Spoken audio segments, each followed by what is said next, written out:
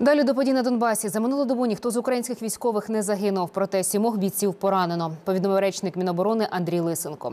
Бойовики 35 разів порушували режим тиші. На Луганщині під мінометним вогнем знову опинилося щастя, де бойових дій не було з літа. Неспокійно також в Кримському та Новоолександрівці.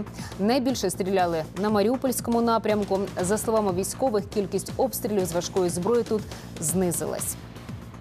Минулої доби по наших позиціях у Красногорівці та Павлополі окупанти випустили близько 20 мінометних мін, що в кілька десятків разів менше, ніж тиждень тому.